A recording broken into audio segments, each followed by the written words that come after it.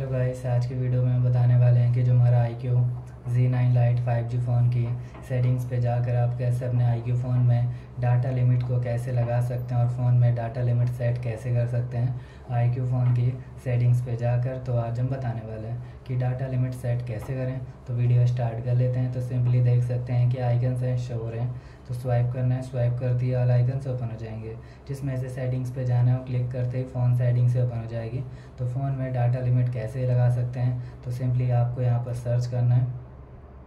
Data limit तो यहाँ पर सेट डाटा लिमिट का ऑप्शन आ जाएगा, इस पर क्लिक करना है इसके ज़रिए डाटा लिमिट को इस तरीके से ऑन कर सकते हैं और ऑन करके फ़ोन में लिमिट लगाना चाहते हैं, लगा सकते हैं, हम टू जी लगा देंगे सेलेक्ट कर देंगे तो टू जी लिमिट आपके फ़ोन पे सेट हो जाएगा। देखते हैं कि सेट हो गया है, जिसका आप यूज़ कर सकते हैं।